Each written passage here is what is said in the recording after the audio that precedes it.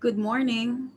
Mm. Welcome to the second day of the CEAP NCR webinar sponsored by the Tertiary Committee in partnership with Rex Bookstore. Our webinar has for its theme C- CEAP NCR Tertiary Schools geared towards a holistic approach to preparing for the new normal. We thank all of you for being with us today. The theme I have mentioned tertiary schools, but we also have in this room our co-educators from the elementary and high school levels. This is because we believe that regardless of levels, educators and educational institutions face the same challenges in school year 2020-2021.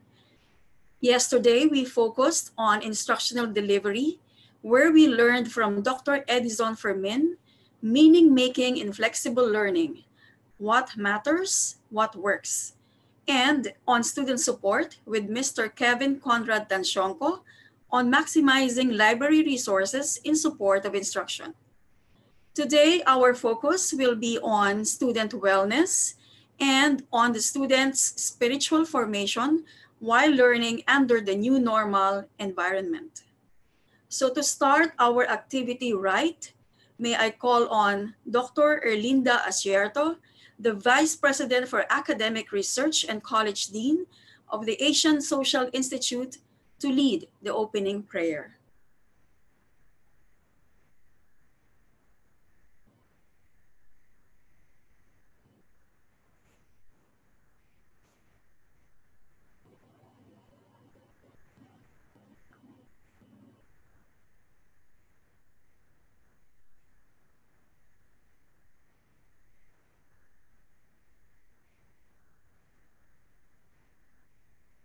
Mike. Mike.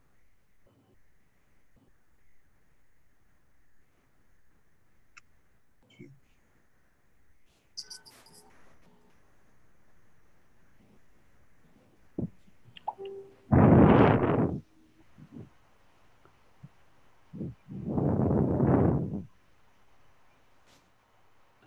Um, Dr. Virgie, I believe uh, Dr. Linda has no audio. Okay. So uh, we will have the prayer again. Um, in the name of the Father and of the Son and of the Holy Spirit. Amen. Let us spend moments of silence as we breathe in deeply and exhale slowly. Let our breathing be our prayer. We praise and thank our God of life and love for listening unfailingly to our prayers. You have been our anchor in the midst of this pandemic, and you have constantly provided us with our needs and the hope to get through every day. We are glad that we are able to make it today. Heavenly Father, be with us in this webinar. Send your Holy Spirit to inspire us as we listen to our resource speakers who will help and guide us as we seek for the most appropriate way or approach to ensure the best in educator in educating our learning partners, the administrators, the teachers, staff, students, and community partners. For all said and unsaid prayers, we unite them in the prayer of your Son, our Lord Jesus. Our Father in heaven, holy be your name, your kingdom come, your will be done on earth as it is in heaven. Give us, Give us this day our daily our bread. bread, forgive us, Forgive us our trespasses, as we as we forgive those who who trespass trespass against against us. us. Do not Lead us not us into temptation, but deliver us from from evil. evil. Amen. Amen. We also ask the intercession of the Blessed Virgin Mary. Hail Mary, full of grace, the Lord is The with Lord you. is with you. Blessed are you are you among women, women, and and blessed, blessed is the fruit of your womb, Jesus. Jesus. Holy Mary, Mary, Mother of God, pray for us sinners, now and at the hour of our death. Amen. Amen. Glory be to the Father, and to the Son, and to the Holy Spirit, as it As it was, was Was in in the the beginning, beginning, is now, and ever shall be, world without end. Amen. Amen. In the name of the Father, and of the Son, and of the Holy Spirit. Amen. Amen. So before we proceed, let us be reminded first of our few house rules. So please keep your audio on mute and your video turned off. We encourage everyone to finish each presentation before posting any question. There will be time allotted for question and answer at the latter, latter part of each presentation. You may click the Q&A button found at the participant section of the app if you wish to raise a question. Make sure to indicate your school affiliation. Kindly limit your question to one to give way to the questions of other participants. So there. So it looks like we are ready at this juncture. We should we would like to acknowledge the presence of the members of the Board of Trustees of CEAP NCR, headed by Father Nolan Kwe, the reg regional trustee, with the members, Sister Mary, Sister Anne Christine L. Pinto, OSB, the Vice Regional Trustee, Reverend Father Emilio A. Ascanio, LRMS, the Treasurer, Dr. Leo V. Galvez, the Secretary, Sister Daisy L. Fornan, OP, Director at Large, and Dr. Ava Ann P. Simurlan, Director at Large. We likewise acknowledge the presence of Attorney Dominador D. Buhain, the Chairman and President of Rex Book of Companies, and Ms. Danda Crimelda Buhain, the Chief External Affairs Officer of Rex Book of Companies. So thank you very much, Father Nolan Kwe, the members of the Board of Trustees of CEAP NCR, Attorney Dominador Buhain, and Ms. Danda Buhain of Rex Bookstore or Rex Book of Companies for being with us today and for your support to this undertaking. To welcome us all for today, let us have Attorney Dominador Buhain, Chairman or President of Rex Book of Companies, for his welcome message. Uh, thank you very much, Dr. Cornish. Greetings on the second day of the CEAP NCR Tertiary School, geared towards a holistic approach during a new normal. Allow me to reiterate what, what I mentioned yesterday. I hope you are all safe and well amidst these trying times. Before we begin today's very important discussion on the new normal of private higher education, I would like to thank each and everyone for making time to be with the Rex family today. We may be separated physically by this pandemic, but webinars such as this prove that we are more than ever united and together in our passion for education and the Filipino learner. Every day, the death toll continues to rise. News of our fellow countrymen losing their jobs. Government and health sector helplessly watch as the resources are stretched and strained to the limits. In the private higher education sector, issues of sustainability and relevance have arisen, putting at risk the learning experience of hundreds of thousands of students.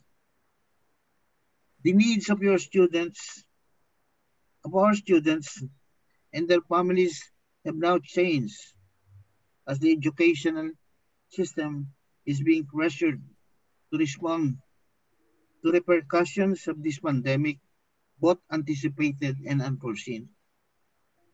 But this is why I would like to commend every one of you today, because today, instead of accepting defeat, we are challenging ourselves, tapping into our inner reservoir of creativity and resourcefulness. To overcome this Great Depression, instead of focusing on the negative, we are looking at the horizon, eager to unearth the opportunities that are waiting for us. We have started the discussion for this very reason, to invoke discourses and provide a healthy, safe, and engaging platform for all the members of the education sector. Together, we will turn this disruption into a moment of creation of something new, something better, for our education system, for ourselves, and for the learners that we serve. This is why it is an honor and with deepest pride to be welcoming all of you today to this session. Just by being here, by being willing to take part in this revolutionary spirit in our history, you are doing your country a great and honorable service. And with the blessing of our Lord Almighty, may we be filled with wisdom and strength to deliver what we endeavor to do. Para sa bata, para sa bawat mamamayan, para sa bayan. Thank you, and again, good morning. Thank you very much, Attorney Buhain. Yes, um, we are also very grateful for being for for um, you, Rex, um, Book of Companies, to be our partner in this activity. And we are all um, indeed facing this challenge, or all the challenges um, brought about by this pandemic proactively. Uh, so para sa bayan, para sa mamamayan, I'm sorry, para sa bata, para sa mamamayan, para sa bayan. Thank you very much once again, uh, Attorney Buhain. So at this point, uh, we now call on the father of CEAP NCR, Father Nolan Coe, the regional trustee, for his opening remarks. Good morning to my fellow educators. Have you heard recently the pronouncement of World Health Organization on the possibility that COVID-19 is airborne? yes. It has disturbed me a lot, you know. And I look forward that we keep on praying. Very timely in the gospel reading for today, Jesus summoned the 12 and gave them authority. And what does authority mean? It is inviting us all to respond to the call to become disciples of Jesus. To be a disciple means that there is an eagerness to know, there is an eagerness to love, and there is an eagerness as well to serve Jesus. And this loving, knowing, and serving Jesus continuously to take place in our working environment, and that is our own Catholic schools. And this is the reason why we are here. Because we wanted that a lot of people, young people, will be able to know, to love, and to serve the Lord. Every day we have our prayer session in all our schools, and I have requested all of them to post pictures of our praying prayer sessions. Well, the posting of picture would remind everyone, and hopefully it will become a venue to evangelize everyone that indeed we should know, love, and serve our Lord Jesus Christ. May our webinar today truly make us all an authentic disciple as we make the proclamation that the kingdom of heaven is at hand. Always remember that Catholic education is both a gift and a mission. And final reminder to all attendees, no? let us use the word new normal properly. On my part, I don't consider things that we're doing now as new normal. I'm looking forward that when when everything simmers down, then we start discovering the new normal, new ways of doing things, but with a renewed passion and commitment as Catholic educators as we do our mission to the young people of this generation. Let us all give our best, give our ears, our minds, and most importantly, our heart to this webinar. May the Lord bless our simple steps, our small efforts as we do respond to his mission to become his disciples. God morning to everyone.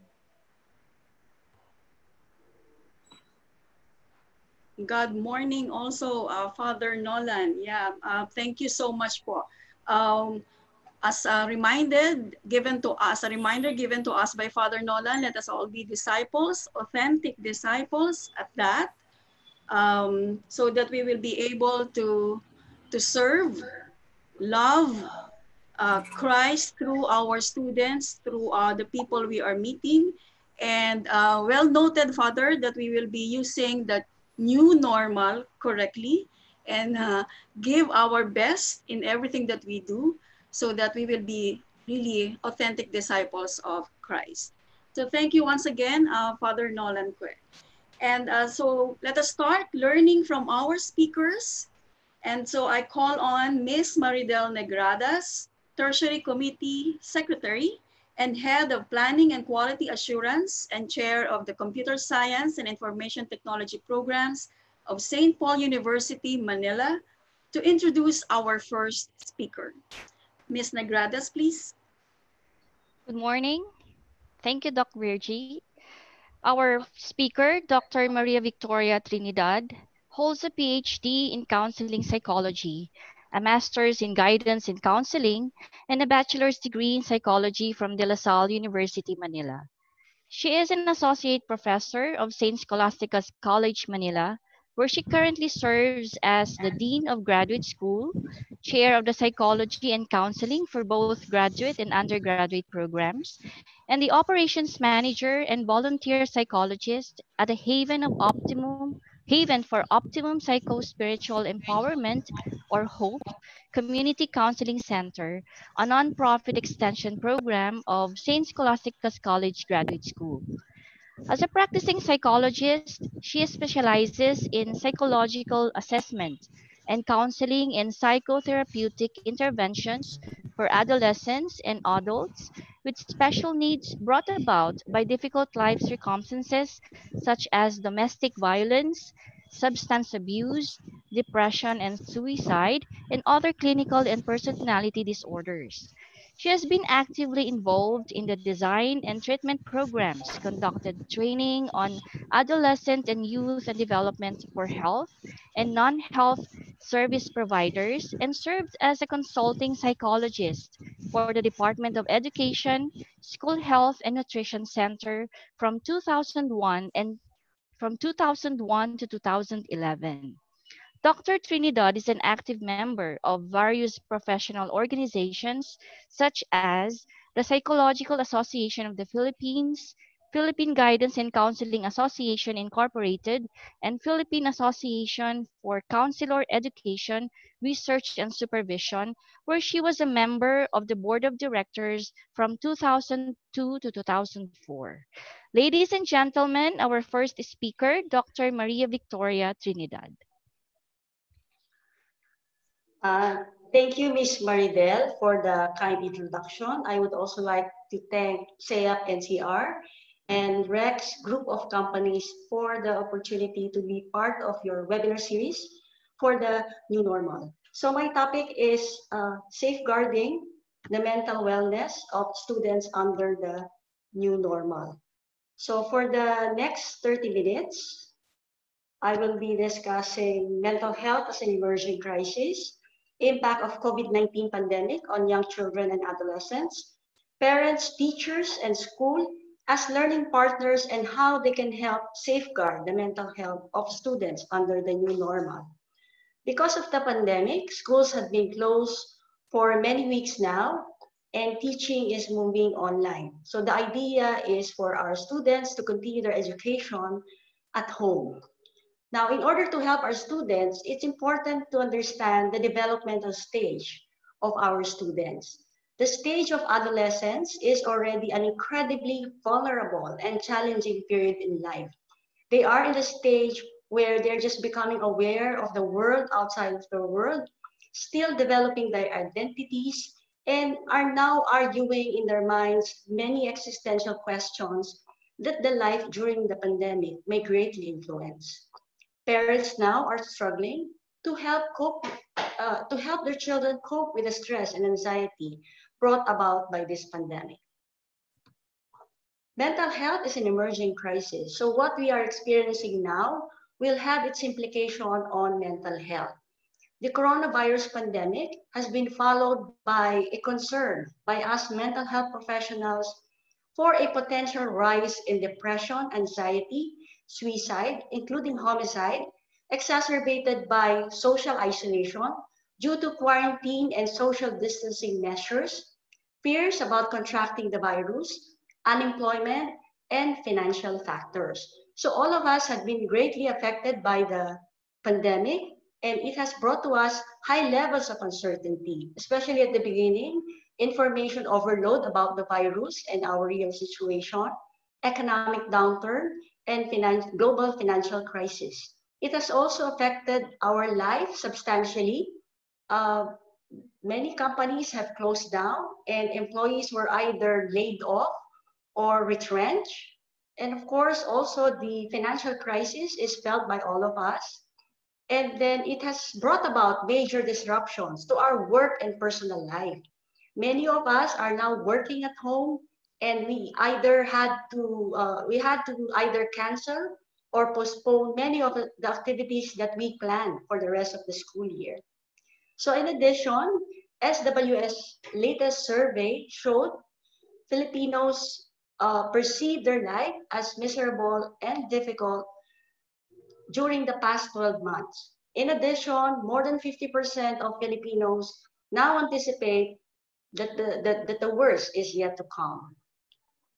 There was a rise in teenage pregnancy, particularly in the Visayas region. This is second to the highest in Southeast Asia, which means that around 538 babies are born to Filipino teenagers every single day. Online sexual abuse was also up by 20% during the quarantine period. So it is completely normal that many of us continue to experience uncertainty, worry, and stress. The pandemic has been devastating for us adults, but the impact on adolescents is far greater or worse. That is because many psychiatric conditions usually manifest during adolescence. This pandemic has substantially affected them, interrupted their uh, education, early work experiences, and activities that may influence their future careers. So how is the pandemic affecting adolescents? Adolescents are more sensitive to lockdown orders and social distancing. Unlike younger children, younger children tend to cling to their parents and now feel safer that they are with their parents. Adolescents are naturally, biologically, and emotionally driven to gravitate away from their families and seek comfort and reassurance from their peers and their friends. So right now, they are missing their friends and not being able to see them face to face is bringing them a lot of anxiety and stress.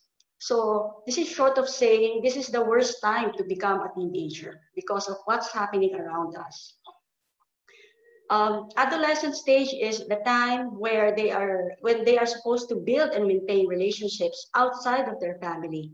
It is one of the hallmarks of being a teenager. So what can help is that initially parents should have explained to their children about the details of, of the pandemic, why they should stay home, that staying home will stop the virus and protect themselves, and why also social distancing is necessary. So in the meantime, allow them to virtually connect with their peers through um, video chat, uh, text, and other means. Adolescents are grieving for the loss of traditional milestones and celebrations in their life. So we have become once adolescents ourselves, and we usually look forward to many fun and meaningful activities. So they have lost education time. Now they have restricted access to peers. They have lost daily structure in their life. No graduation, no sports, no mm-hmm. other activities. So it's helpful if we will listen to their concerns, do not trivialize their stressors, allow them to grieve over what they are experiencing and not experiencing. This pandemic may worsen existing mental health problems of adolescents and thereby lead to more cases. At the start of the pandemic, this was uh, personally my concern as a psychologist and second parents of our students. I was concerned about our students with existing mental health concerns because of the long lockdown. They were unable to continue seeing their psychologists and psychiatrists and as well as take their medications. Um, so at the start of the semester, I, I communicated with our students, check up on how they are. And I was relieved also that our school guidance counselors, even at the start of the pandemic, continued to communicate with our students. So what can help uh, is for us to continue to provide them access to online mental health counseling and referral. The pandemic is a risky time for risky behaviors. Teenagers are now online most of the time. And now that the learning has been moved online, they may have more unscheduled time in their hands, and this will leave them likely to experiment with risky behaviors. So they can be a victim of sexual exploitation and cyber grooming. Um, strangers may invite them to send their pictures or videos with sexual content. And they may be uh, also uh, subject of mean comments. They may be bullied or themselves bully other adolescents and children. So what can help is that parents can speak to their adolescents about online safety. Our guidance counselors can also integrate this in their session with the students to protect themselves. So it's very important for our parents to establish rules on how, when, and where internet can be used. There was also a rise in domestic violence and child maltreatment. Those who were confined in household where there is abuse and interpersonal violence are at higher risk now that families are stuck together. Remember, uh, our students with uh, where there is abuse in the family, they have considered our school campuses, our classroom, as their safe haven. And now they are, they are at home. So it's very important for our guidance counselors and faculty to continue to check or monitor the status of students' physical and mental health. Adolescents are struggling with intense emotions right now. Adolescent stage is, correct, is already characterized by a range of intense emotions. So you can imagine how they feel right now that they are not allowed to go out. So what can help is we need to encourage them to talk about how they feel. We listen to them. We let them know, we let them feel that we understand their present situation and validate their feelings. Uh, as I mentioned, we do not trivialize their stressors. And it's also important for adolescents to engage in activities that will help them channel those especially negative or pent up emotions, like engaging in, in learning new skills, art, uh, drawing, and journaling. Parents, teachers, and school are considered, uh, I consider as learning partners. So we will uh, discuss the parents first. Parents are, they, they, they play a major role in preparing our students for the new normal, for online classes. Because remember, classes will no longer happen inside the classroom, but at home. Now, what are the challenges of parents during the pandemic? They, they are struggling now to provide for their families during the pandemic. Uh, aside from ensuring that their family meet their basic needs, now they have to make sure that they include educational expenses, not to mention the gadgets and the technology that they, they would, their children would be needing for online learning. They need to also juggle work and childcare responsibilities, as well as how children will adapt to home learning. So not only they, do they need to focus on their own work at home, but they have to make sure that their children who are also studying uh, adapt or adjust to home learning, home learning. So um, the, the, the, for the parents, the struggle is real, no? but I think it would help if we take advantage of this opportunity, no, since families are always together at home, to take advantage, to take the opportunity to improve the relationship at home. Um, in the beginning, there will be um, fun and inspiring moments, but there will also be angry and frustrating moments as they adjust to the new setup at home.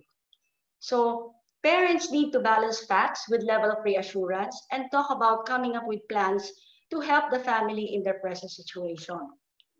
So parents would need to call their children uh, to have an open and honest discussion about their family situation, not only to reassure them, but come up with plans and involve them in, in the decisions that the family will make. No? This, is, this will increase their sense of safety and well-being if they're included in the plan. So parents need to partner with their children to create the new normal. They need to engage with their children as a learning partner in planning a routine schedule at home.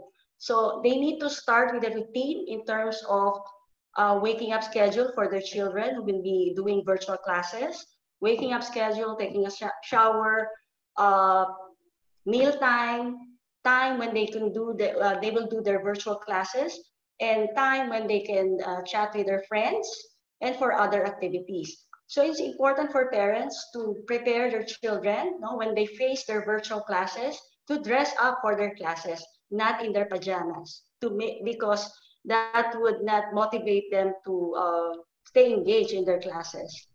Help them organize their study environment at home. So um, you can they can select a, a study area.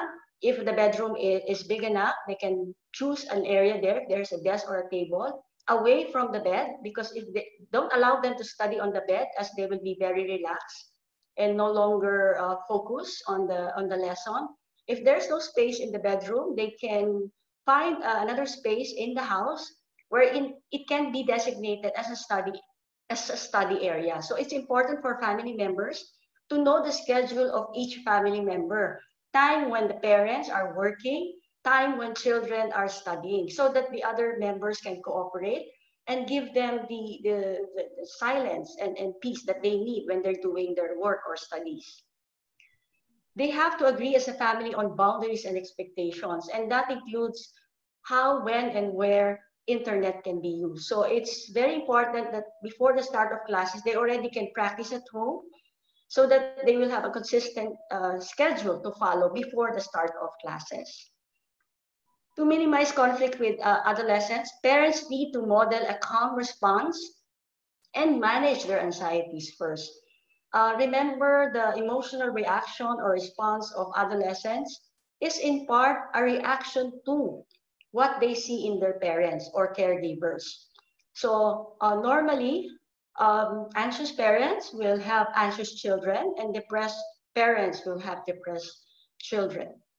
So it's important for us, for, uh, for parents also, to do self-care. Self-care can be as simple as taking a shower, uh, dressing up, or uh, having a short uh, chat with a friend while uh, taking coffee. So parents uh, doing self-care is not an option. It's necessary so that you will be fully recharged to carry out your responsibility and to better assist your children uh, during their uh, stay at home. Now, teachers are second, second to the among the learning partners. Now, what is the impact of COVID-19 on, on teachers? Our lives as teachers, I can relate to this as I'm also an educator.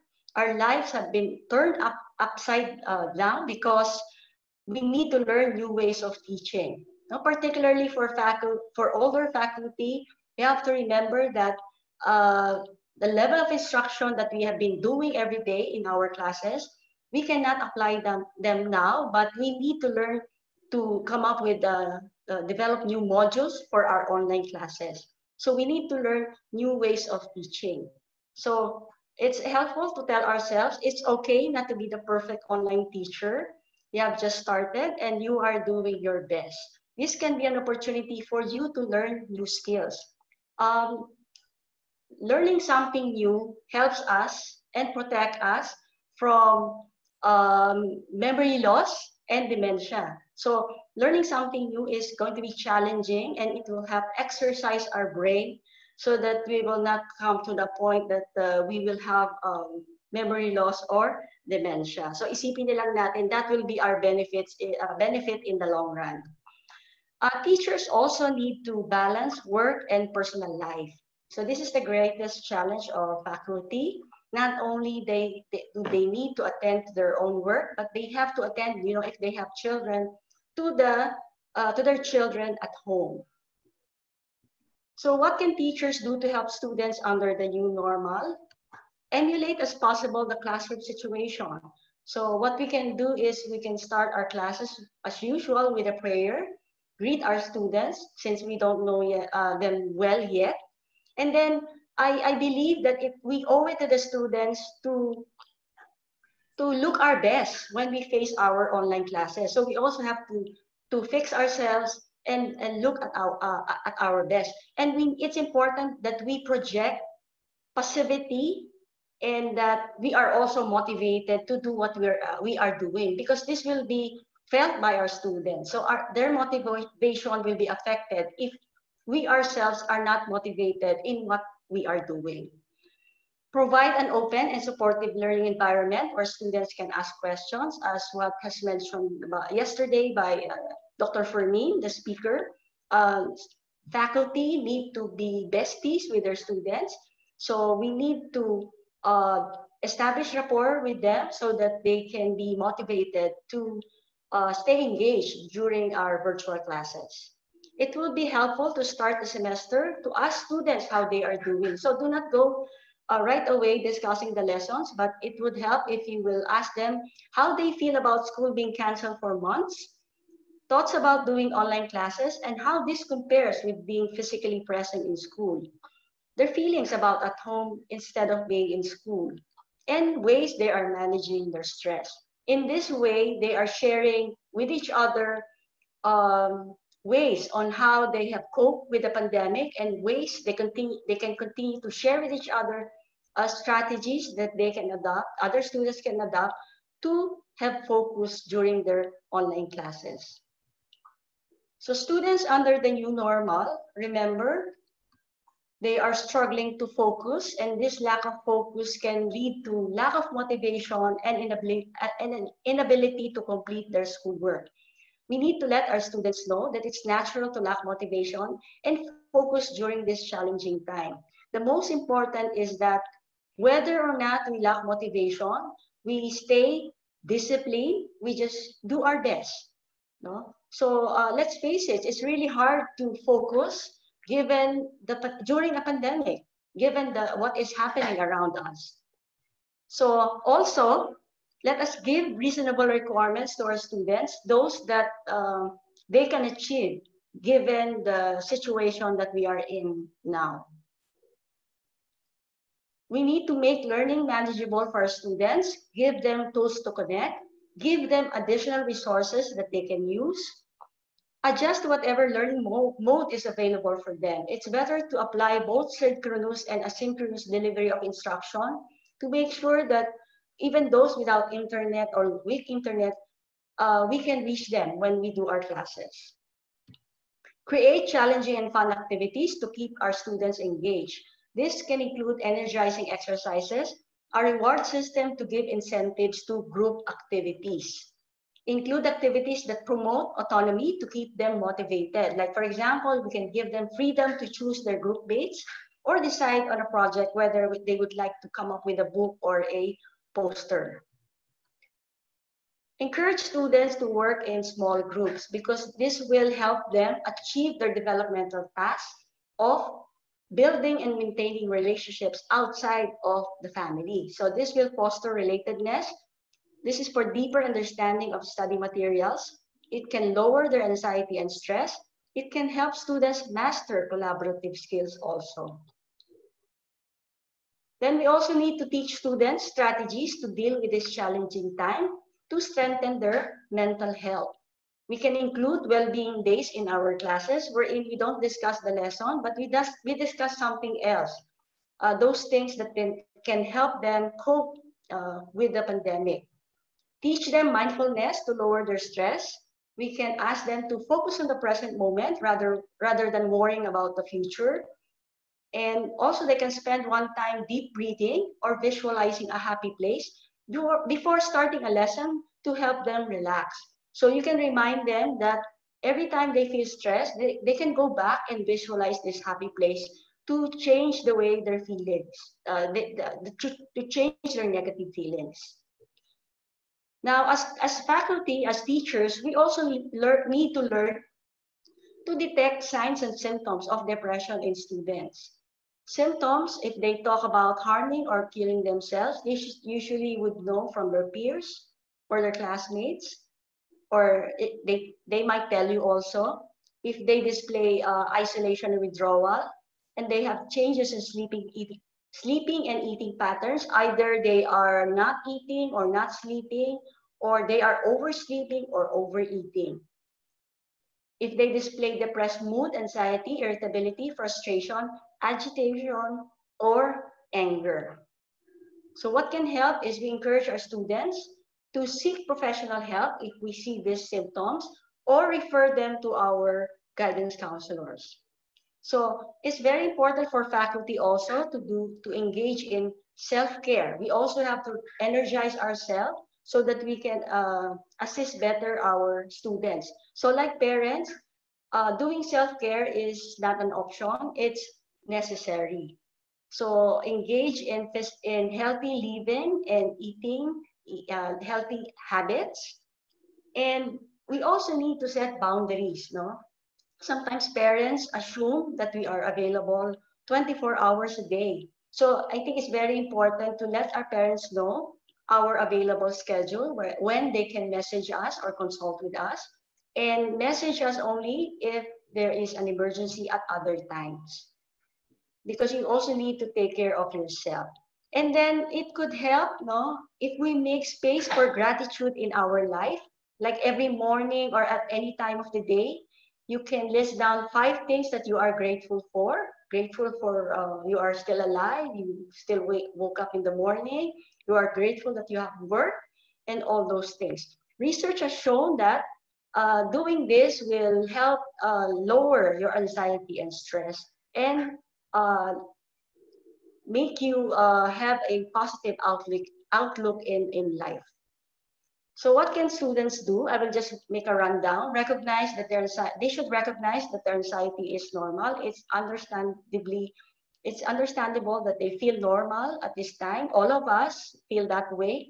They need to stay informed but monitor media intake. Uh, parents can assist in monitoring uh, their internet use. They also have to do self-care, nourish their body, mind, and soul. And then it would help once they start their, with their classes, set small daily goals. Do not try to do all their schoolwork in one day. So uh, at some point, we lose our motivation and this is normal. The important thing is after that we just engage in activities that will help us uh, feel positively and go back to what we were doing. Remember to, to take short breaks. These short breaks in, at home can uh, include uh, taking, take, uh, going to the kitchen, taking their favorite uh, drink or snack, or getting something, a study material in their, in their room. Now, it's important for students to connect with their teachers if they have questions and concerns. They also need to find ways to express their feelings. No? Uh, in their spare time, they can talk to their friends and engage in activities where they can release all those uh, pent up or negative feelings. Um, students, be kind to yourself. Remember that you are doing your best given the circumstances. And also be positive that uh, this too shall pass. Now, what can schools do? Create a healthy and safe living spaces for our students, faculty, and staff. Provide psychosocial support for students, faculty, and staff who may need it. Uh, our Hope Community Counseling Center in SSC, we have provided uh, online, free online uh, counseling to our, not only for the scholastic and community, but for the public. Uh, also, um, our Benedictine sisters had been tirelessly praying with and for us. No? Every day they pray with us, and this has helped us a lot and has um, increased our sense of community. So it will help if the schools would uh, provide activities to foster uh, connectedness among its employees, uh, school community members um, share information to parents on how to reduce their children's stress and anxiety. Schools can include in their webinars on, uh, on how to help also parents manage their own stress. And I think it can also help if at this early at this time, you can include an IT expert in your webinars to answers their, answer their questions about uh, gadgets and uh, technology that they would need uh, for their children uh, for online learning. Remind school staff of the importance of creating a calm and supportive environment for students. It's important that we are models of calmness and positivity for our students. No, life is hard, life is difficult now, but it starts from all of us. We need to um, project that image that we are trying our best and uh, we are still blessed in spite of what is happening. Work with school health workers and guidance counselors to identify and support students who exhibit signs of, uh, of distress. Help faculty create new modalities of learning and provide them with needed learning uh, training and tools for online delivery of lessons. So COVID-19 pandemic continues to affect us significantly, but this may be also teaching us lessons that we can use to improve our lives. Hopefully, teenagers will grow up to be well-mannered with a unique appreciation for the value of connection, compassion, kindness. We have shown a lot of this during the pandemic, and hopefully they will do uh, imitate those those values that we have uh, demonstrated and hopefully they will have less value on material things. COVID-19 pandemic will continue to present challenges beyond those that come up in the course of routine virtual education. The world is changing. We need to teach our students life skills by integrating them in our lessons.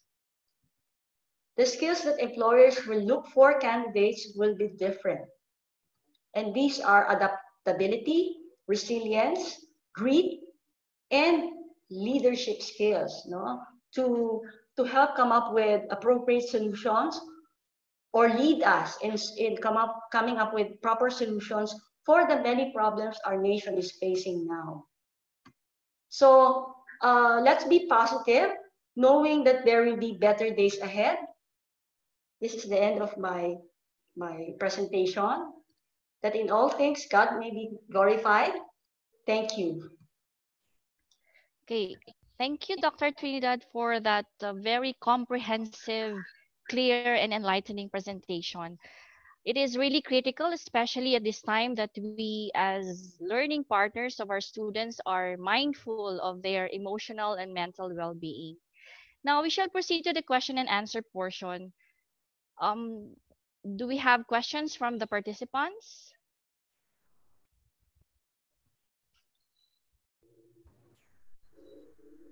I guess it's because the presentation was very clear. Miss Madel, Um, um, yes po. yeah, uh, there's one there in the Q&A box. So it I- says here, good morning. Yeah. Yeah. Would you the like to read- topic, Ah, yes po. It's from Christina Price from St. Paul University, Quezon City. It says here, good morning. The topic is very interesting. May we be provided with a copy of the presentation? Thank you very much. This presentation is very is uh, being recorded and um, we will do our best to provide you with a copy of the presentation. Yes, Father Nolan? Yeah, thank you very much for that presentation. I would like to call the attention and make an appeal to all the guidance people in every school. If they can be very visible in social media and trying to take good care of their students. If a platform can be used in every, if every Catholic school really a platform to connect with their students, it's a it's a great help. A lot of young people nowadays would not be, be able to understand what they're going through, what their parents might be going through. Kasi baka sa bahay, stress na yung magulang, ang ginagawa ng magulang, yung stress na pinapasa niya sa kanyang anak. And, and, and we have to, we really have to address, especially young people may, may not be that mature enough to understand what they're going through. So I'm calling all the, I'm appealing to all the guidance people in every Catholic school. I hope your presence really is felt and seen by our students. You're able to connect. The word now is really connect, connectivity. Connect with your students so that you'll be able to, to help them go through this pandemic. So thank you for that presentation. Okay, thank you to Dr. Nolan, uh, Father Nolan. Uh, do we have any other questions from the participants? Okay, if none, then again, thank you, Dr. Trinidad, for sharing your time with us. I will now hand you over to Dr. Fornes for the awarding of certificate.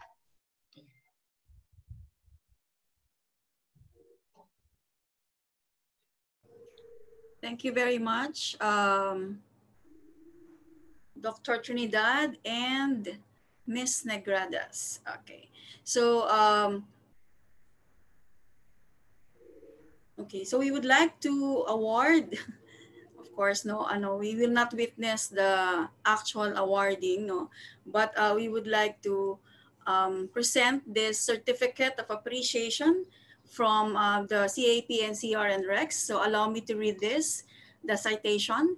The Catholic Educational Association of the Philippines, NCR, in partnership with Rex Bookstore, presents the Certificate of Appreciation to Dr. Maria Victoria Trinidad for sharing her valuable contribution as resource speaker on safeguarding mental wellness of students under the new normal during the CEAP NCR Tertiary Schools webinar with the theme CEAP NCR Tertiary Schools geared towards a holistic approach to preparing for the new normal, held on July 8, 2020, signed by yours truly and our Vice Regional Trustee, uh, Sister M. Christine L. Pinto, Order of St. Benedict, and our Regional Trustee of CEAP NCR, Father Nolan A.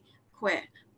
PhD. So thank you very much once again, Dr. Trinidad, for that um, valuable input that you have given us. So at this point, um, we would I would like to call on Dr. Erlinda Asierto, our Vice Chair, the Vice Chair of the Tertiary Committee, to introduce our next speaker. Dr. Asierto, please. Start.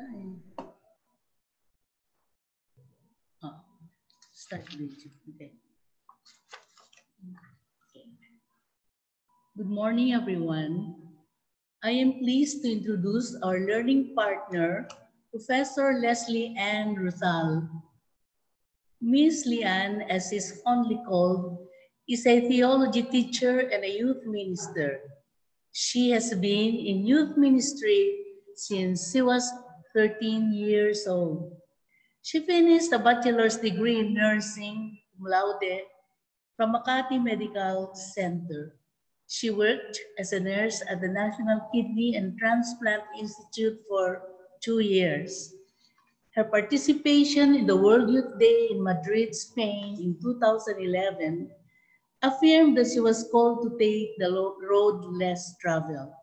She left the nursing profession and became a full-time missionary for Missionary of Families for Christ, formerly CFC FFL. To strengthen her knowledge and confidence for her ministry, she began pursuing a degree in Master in Religious Studies, major in catechetics at Don Bosco School of Theology in Paranaque City, where she graduated as magna cum laude. Lian works, worked in the social media ministry of her charismatic organization. She also served as the social media coordinator of the Catholic Bishops' Conference of the Philippines during the Year of the Lady. She served as a campus minister for St. Pedro Poveda College, where she provided the grade school department a pastoral program integrating Poveda values, Christian living, education, and campus ministry. After her Master in Religious Studies in Don Bosco School of Theology, she further took up Master of Arts in Theology with major in Moral Theology.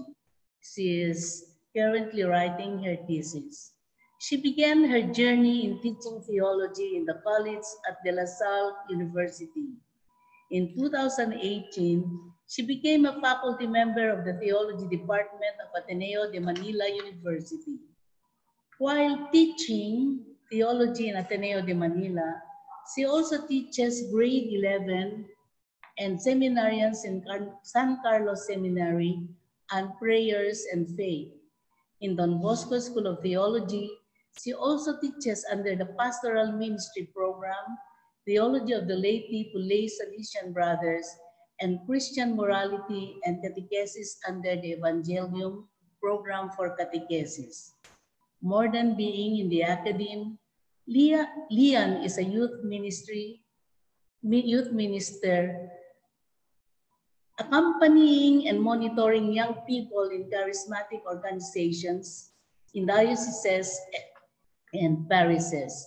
She is now serving the young through the Salesian Youth Movement, head of the Salesian Youth Movement Volunteers, where she helps in the formation of youth ministers, spiritual moderators, and youth directors.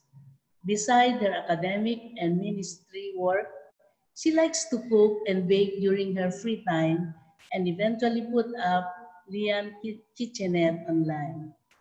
In two days, Lian will be celebrating her 33rd birthday. Dear educators, let us welcome our resource speaker and learning partner, Professor Lian Rosal. Hello, everyone. So that was quite a lengthy introduction. She did not mention it a while ago, but to keep things light, Miss uh, Dr. Asierto was my professor in Don Bosco Center of Studies, now Don Bosco School of Theology. So it it is an honor to be able to um, have her here and also introduce me. Um, so let me share my screen first. So the topic given to me, the topic given to me is rekindling a committed life of faith in the midst of pandemic through Catholic education. So I'd like to begin this discussion with, okay, the discussion points that I will be giving this morning. So firstly, I would like to discuss basic points on Christian education coming from Pope Francis, no? So um, I got this from two recent speeches that he gave, no, that was last 2018 and then quite recent during the during a gathering of um, the plenary for or the congregation for Catholic education in the Vatican during February of 2020. So it's fairly recent. And then secondly, I would like to introduce to you something that I've discovered also when I became an educator. That's forming students in virtue towards a committed life of faith. And then lastly, I would share with you some best practices that I got from people who are already exercising point number two. Okay?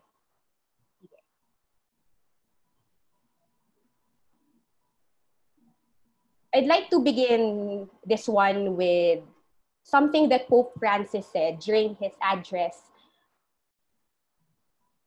noong June 25, 2018 to the members of the Gravissimum Educationis Foundation. So this foundation was um, organized in 2015 by Pope Francis himself. And he said something very, very beautiful. He said that it's only by changing education that we can change the world. No, he said this during the year 2018. Na nakakatawa nga dahil in the year 2020, we were caught off guard that, you know, suddenly there is this COVID pandemic. And then all of a sudden, you know, bilang educator, as educators and teachers, if there are deans here, administrators of schools, no, all of us were caught by surprise because we suddenly had to change gears in education. Now, if before the Catholic Church has always issued this clarion call of new evangelization to explore new arenas and many ways in proclaiming the gospel. Now we have this concrete reality wherein instead of a physical classroom, we are now making use of these um, technologies such as learning management systems, you know, such as using your computers, using your cell phones.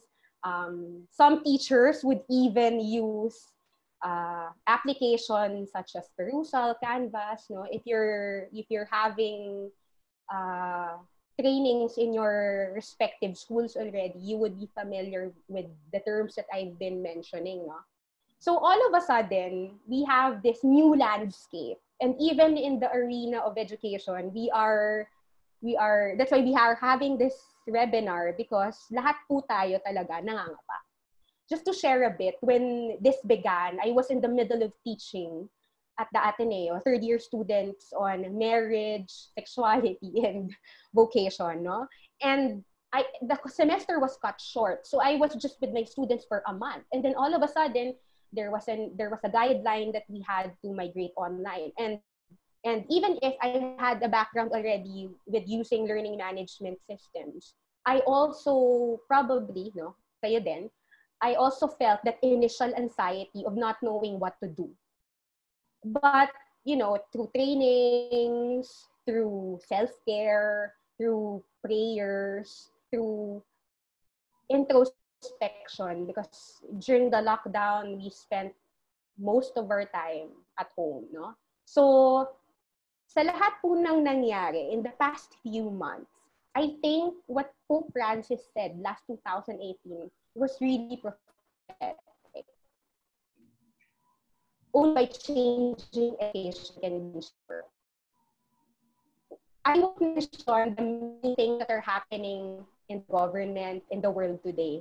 If you are active in social media, I'm active in Twitter and Facebook. Now, especially when you go on Twitter, it's a social media platform wherein views are being exchanged by the second, no? And most of young people, if you want to know their insights, if you want to know what they think about you as a teacher, if they want you want to know what they think about the world, you find that on Twitter.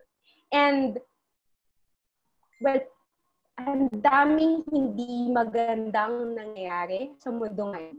And I think it it is now in our hands as teachers. Nasa kamay na po natin bilang mga guro. Meron po tayong kapabilidad na baguhin po ang mundo sa ngayon. Bakit po? Dahil sa panahon ngayon, yung mga bata, hindi naman sila pwedeng lumabas eh. Hindi sila papayagan ng magulang nila, hindi, din kasama sa guidelines na pwede pa silang lumabas. And in the next few months, we will be restarting this, starting the school year in a new landscape, which is the digital landscape. Now, how we will have good and upright citizens, how we would have virtuous Christians and even non-Christians under our care, I would like to make this proposition that ang pagbabago sa panahon po ngayon, maaari pong magsimula ito sa ating mga guro. That's why I would like to propose at the beginning of this um, of this session already, I will already um, begin with the end in mind. That even if you are a teacher of science, even if you're a teacher of mathematics, even if you're not a Christian living education teacher or a teacher of theology, you can use your subject in order to form virtuous citizens or virtuous students, right? So what did Pope Francis say during his address to the participants of the plenary assembly of the Congregation for Catholic Education? What I told you a while ago. This is what he said, no? Education is a dynamic reality and it's a movement that brings people to the light. It's something that education is the pathway, one of the pathways by which we can make people grow, no?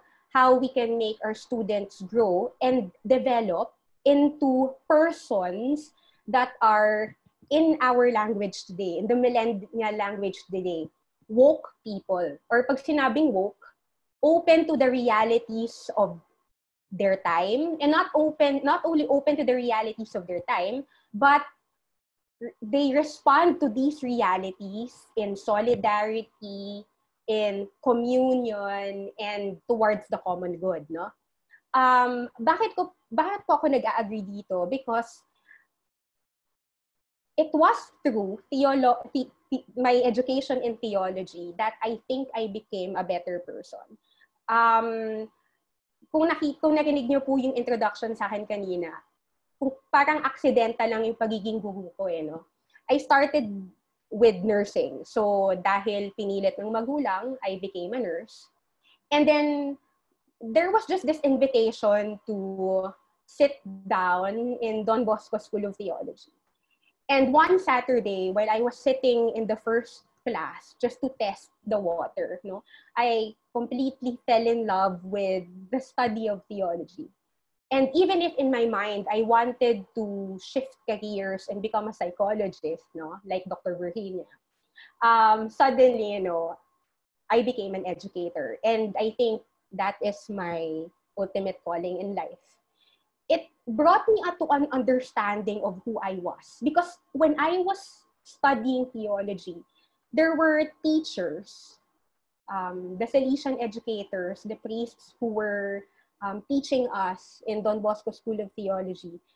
They weren't only communicating knowledge to us, but they were integrating what we may know about God into particular life skills.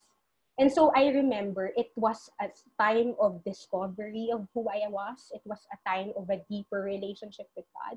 Up until it came to a point when I realized whatever change happened to me was also something that I wanted to share to others. Hence, I became an educator. Now, Pope Francis gives us four traits of Christian education in his speech last February. He says that in Christian education, you find four movements. So, firstly, you have the ecological movement. Secondly, the inclusive movement. Thirdly, the peacemaking movement. And then, fourthly, the team movement. So, I would go through each movement. And then, as I go through each movement, what I'd like you to do is that as, as you read and as I also explain what the movements are about, no, I would also like you to think of who am I as an educator? Am I, in a way, applying whatever suggestions Pope Francis is giving me, no? So, simulan po natin sa ecological movement. Now, what is that trait of Christian education or that, that that movement called ecological movement. According to Pope Francis, he says that education should place the person and his her, her potential at its center. Now, all these things that I'm mentioning are actually basics. You may know this already. But in a time of great anxiety during this pandemic, it's good to go back to the basics, no? Because they're very foundational. And then coming from that, maybe um, from the foundational principles, we could already do creative um, and innovative strategies on how we would teach as educators, on how we would be as educators. And so the ecological movement states that the student is at the center of education. Kapag ikaw ba ay teacher, ano ba ang goal mo sa pagtuturo ng isang lesson? Ang goal mo ba sa pagtuturo ng isang lesson ay, okay, sige, kailangan ko lang mairaos to kasi nga, pagod na ako. No? And that could happen during this entire time of um, us doing things online. No? I, I'm, I'm currently, I'm currently doing a refresher course at the Ateneo at the moment. Um, and it's really different from face-to-face teaching. And sometimes it could be very draining. Lalong-lalo na kapag nagturo ka ng mga estudyante in Zoom sessions, no? Um, madalas kasi baka mamaya dumating tayo sa point na san, baka ma- mairaos na lang natin to. Pero a good educator would always think of the welfare of his or her student. Hindi lang basta-basta na maituro ko tong subject na to. Pero ang isang mabuting guro ay iisipin ito bang tinuturo ko ay nakakapagpabago ng pananaw ng estudyante ko? Ito bang itinuturo ko kahit mathematics ito, pag-solve ng formula, does it communicate a competence in order for me to form my student not only adept in or good in making mathematical equations, but the student will be able to see the value or the virtue behind me teaching this way, no? Each time that we teach our student, we need to see that we need to bring the student into an introspection into his or her inner self, no? Um, kailangan hindi lang siya yung basta, kailangan kong ituro tong lesson na to eh.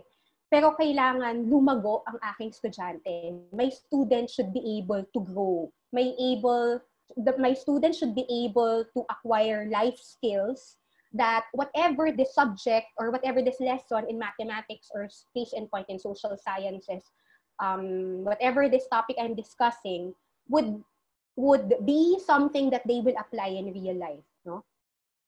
So, bilang bilang educator, dapat meron din tayong um, effort also to bring and lead our students into a deeper reflection of the lessons that we are teaching, no?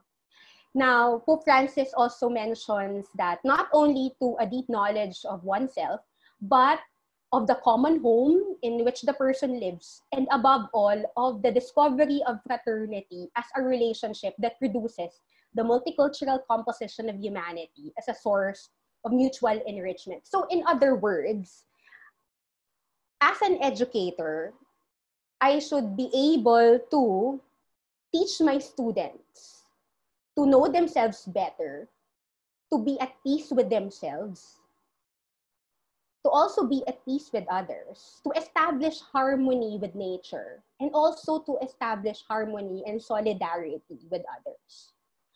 Of course, to also establish communion, harmony, spiritually with God. A point of reflection. Am I an educator capable of developing an ethics of ecology? Am I an educator capable of um, teaching my students that there is a need to help people, to reach out, especially to the marginalized, and especially those who are oppressed? Um, am I an educator capable of, through effective pedagogy, to grow in solidarity, teach my students to grow in solidarity, responsibility, and compassionate care. No? And also, that also would apply to ourselves. Um, am I a person growing in solidarity, responsibility, and compassionate care? Am I, am, an, am I an educator who is compassionate? The second movement mentioned by Pope Francis is the inclusive movement. And you would um, note that of, of during the entire papacy of Pope Francis, this is one of his favorite themes, no, inclusion. Now, what is the inclusive movement? Pope Francis says that it's an inclusion that reaches out to those who are the least, the last, and the lost. No, it's an inclusion that, and he mentions this and gives gives a stress, especially in favor of refugees, of victims of human trafficking, of migrants, without distinction on the basis of sex, religion, or ethnicity. Now, looking at this trait of Catholic education, I now look at myself as a teacher. Am I a teacher or an educator who will accelerate this inclusive movement of education to counter what you call now a throwaway culture? which originates from the denial of fraternity as a constitutive element of humanity. Ano po ba yung throwaway culture? Yung throwaway culture is a culture po of disposables. And you would find now that no, halos lahat ng gamit natin ay may mga maraming mga gamit natin ay disposable na. So, um, kapag kakain ka sa fast food, no, uh, merong mga disposable spoons, disposable fork, no? Tapos, pagkatapos ng isang gamit, tatapon mo na. Now, this throwaway culture could also be applied to human beings, wherein um, we have a culture at the moment that instead of looking at the human person as someone that I should love, or yung kapwa ko is that someone that I should love, I treat that person in a very utilitarian way, meaning I use this person. I look at this person as a something instead of a somebody, someone who is also given the same breath of God when he or she was created, the same way as me, no? And so, marami po din tayong mga estudyante na maaaring nagkakaroon ng difficulty kapag um, ina-access ang ating mga online resources. Sa August, kapag nagsimula tayo, baka maka-encounter din tayo ng mga estudyante na hirap sa bagong digital landscape. I think this inclusive movement app would aptly apply to what us being teachers and looking at our students in a very inclusive and compassionate manner. Pwede nga nating tingnan, no? Ang ating mga lessons ba, ang ating mga itinuturo ba ay um, lessons na alam kong ma-access ng lahat ng estudyante ko? as part of our training at the Ateneo, I'd just like to share because I learned a lot from our trainings.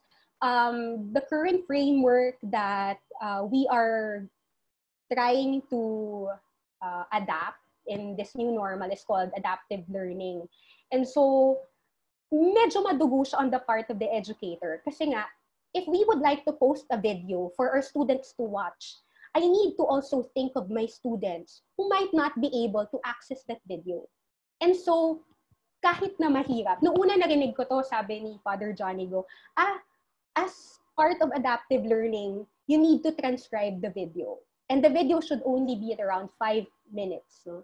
Or to five to 10 minutes. And so I was telling my colleagues at the beginning, I find it hard to, I find it hard as a direct, as, as a suggestion rather, that I would transcribe the videos that I would show my students.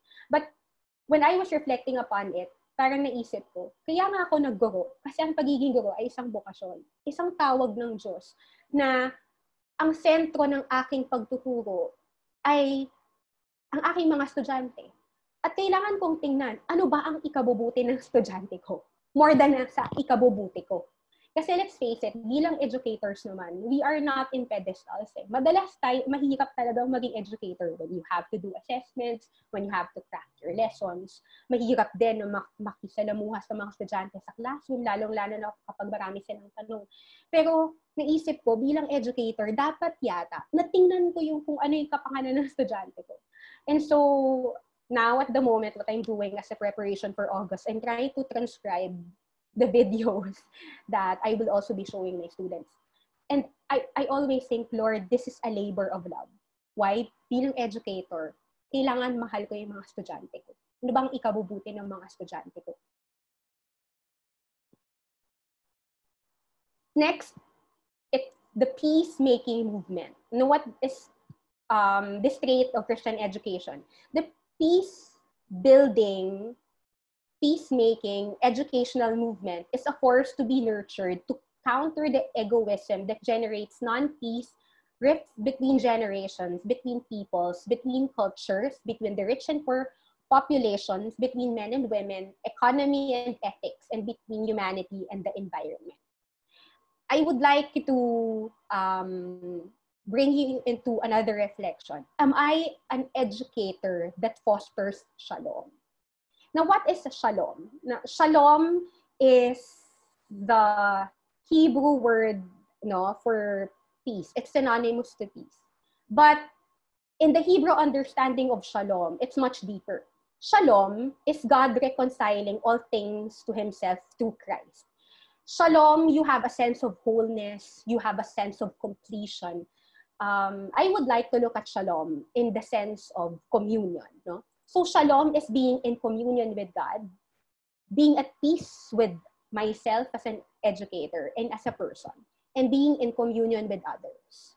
Am I a teacher who is in communion with God? Am I a Christian educator who is at peace with myself, no? This ang sabi nga in the Hebrew understanding of shalom. When you go to the script, when you go to scripture, um when you say you are at peace with yourself, inner peace is not the absence of ano eh, the absence of difficulties. Eh. Peace is not the absence of war. But being at peace, when you are at peace, because God is within you, despite the anxieties of today, despite the things that may um, bog you down as a person, you know that God is a faithful God and that God would always be with us, that God has already walked, you know, He walked with us already and He continues to be with us. And so, I know and I believe and I have faith that this God will not leave me. It now makes me, it now gives me this sense of peace that I can move forward because this God fills me with hope. And of course, lastly, shalom.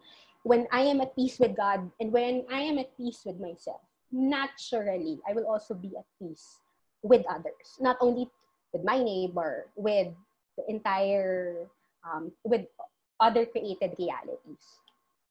Now, lastly, it's a team movement, no? So, um, the Vatican document, Gravissimum Educationis, affirms that the school establishes, as it were, a center whose work and progress must be shared together by families, by teachers, by associations, and various types that foster cultural, civic, and religious life, as well as by civil society and the entire human community. So in a way, um, this is the, what you call the spirit of collaboration. Um, a while ago, in the previous talk that you've heard, that you would um, you would find that um, in dealing with our students with mental health issues and also in taking care of the mental health of our students, it has its students, it has to be a collaborative work with the parents and the teachers and the institutions. No? Actually nga, gusto kong dagdagan ito na hindi lang sa student eh, pero it's also between the institution and the teacher. Kasi mahihirapan ang teacher na ito magturo ang magturo sa estudyante kapag ang teacher ang may mental health issue, no? O kapag ang teacher ang may high anxiety. And I'm not sure how many of you present here at the moment are feeling very anxious of the new setup, no? And so um, the institution must also be able to provide, no, um, mental health care to its to the teachers and to its employees so that they can be effective and also reaching out to the students. Um, that's an example of the team movement. Now, what does Pope Francis further say? He further says that Catholic University pursues its objectives through its formation of an authentic human community animated by the Spirit of Christ. And so, how does this happen? It should be a community of study, research, and formation. Um, in teaching theology at the moment, especially to students who might be very allergic to theology, especially that my subject um, tackles very, very, very difficult issues on human sexuality, on marriage, and um, it's a touchy topic for students and Ateneans. Um, and also when I was teaching this in LaSalle and when I also converse with many young people um, as a youth minister, mahirap yung um, issues on morality. Ang, ako personally, ang hirap niyang ituro. But what I learned is that I should not take all the weight upon myself. Eh um, maybe in order for my students to understand why the church thinks this way about marriage, maybe I need to look at the psychological aspect of love and relationships. And so in my classes, uh, I have always been integrating the guidance office in my teaching of theology. So last semester, naalala ko, there was one, there was one grand class that I organized with the guidance office. And they discussed the psychological um, dimension of love. No? So in the discussion of the psychological dimension of love, um, it was after that discussion of the psychological dimension of love, it was already easy for me to to relate it to what is divine love, no? So that's an example of a team movement. Um, in teaching your course, it could be a collaboration of disciplines. So hindi siya, maganda maganda na makikita yung yung teamwork or yung community work na especially ngayon in the time of pandemic um, to lessen your anxiety. Maybe you could for example if you're teaching re- religious education or theology like me you could connect with the guidance office no? To give you a psychological perspective on on what you're discussing and then um, you could also akong ginagawa ko I also collaborate with um, one colleague, one example, one colleague who's teaching about um, human sexuality, he would invite his wife, who's a biochemist, in his class, no, and and his wife will teach the class about um, what what hormones are working within the person who's in love, etc., etc. So that's that that that's an example of team movement. Now, a point of reflection. Are we educators who will reinvent the village of education? So, the call of Pope Francis nung February 2020 is that we all reinvent the village of education. And I think what we're doing at the moment is already one of the um, one of the ways by which we reinvent this village of education we need to find a common step to revive the commitment for and with the younger generations, renewing the passion for a more open and inclusive education, capable of patient listening, constructive dialogue, and mutual understanding. And so the lessons that we should be able to craft, the lessons that we should teach, must be revolutionary. It should be capable of changing the world. No? So here, Pope Francis, um, in another document or in another speech, now gives us ways on or um, ways on how we could make creative and innovative projects in our educational institutions. So maybe we could also reflect if we have these three qualities, no? firstly, he says that the first the first um, criterion is identity. And so, what is identity? Are we what uh, what am what I am teaching? Is it consistent with the vision and the mission of the school? No? Because maganda sana na yung lahat ng mga tinuturo sa estudyante as part of um, a university or a school, lahat ng tinuturo, dapat, in a way, kung ikaw ay guro, pag gumagawa ka ng lesson plan or gumagawa ka ng, um, in a way, uh, syllabus, dapat iniisip mo din, is this consistent with what the university, with the university identity or the school's identity? So, these, the values of the school are and the Christian values are essential for following the way marked out by Christian civilization and by the church's mission of evangelization. Now, case in point, in our university at the Ateneo, the vision is to form men and women for others. So when I teach marriage and human sexuality, I should not only focus on marriage and the family, but I should be also able I should also be able to bridge that you know that that that that lesson into a solidarity with a greater community. Kaya nga the, whenever I end my subject, I always end with Christian discipleship. Eh. I begin with an understanding of the human person in the self, and then eventually we go into a relationship with another person, and then marriage, And then we end with the relationship with the larger community. Dahil ang bawat tao ay dapat may pakialam sa kapwa niya tao. And I I remember crafting my lessons because I had in mind that I need to always inculcate in my students the vision of the university. that they should be men and women for others, that they should be magis, no? that they would always choose the loving option, the most or the more loving option. Second would be quality.